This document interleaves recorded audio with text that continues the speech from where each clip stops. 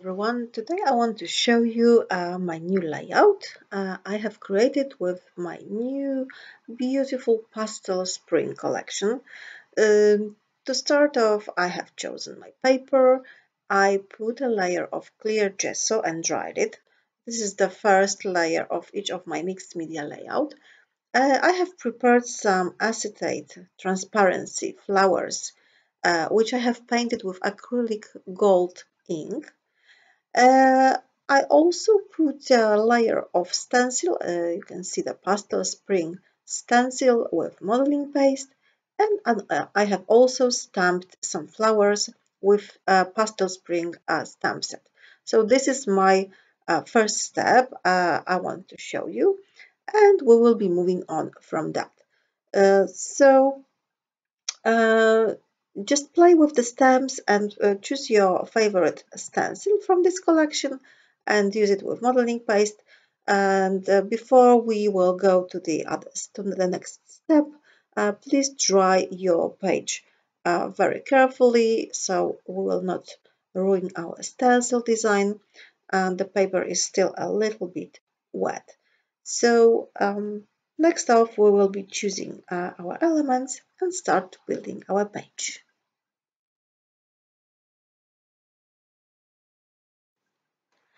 Uh, so as you can see, I have already started to attach my elements.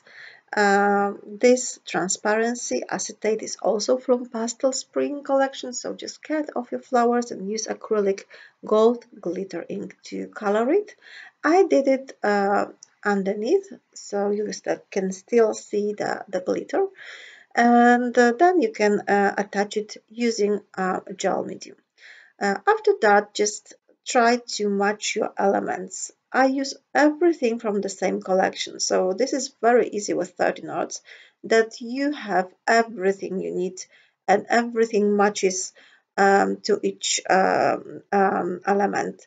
Uh, so if you buy the whole collection, you um, you have a guarantee that everything matches perfectly and you can just choose the elements you want. Um, for this layout, I have chosen um, blue and yellow uh, shades. So I did not use any pinks from this collection.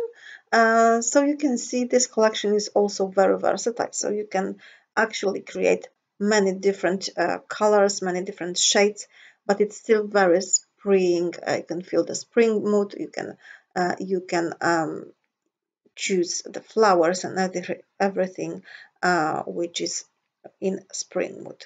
So uh, you can uh, use ephemeras, you can cut out some elements from a, from a die cut paper. And um, as you can see I also used uh, some chipboards and the chipboards I like to paint uh, if you want it to be white uh, with acrylic ink white also from 13 Arts.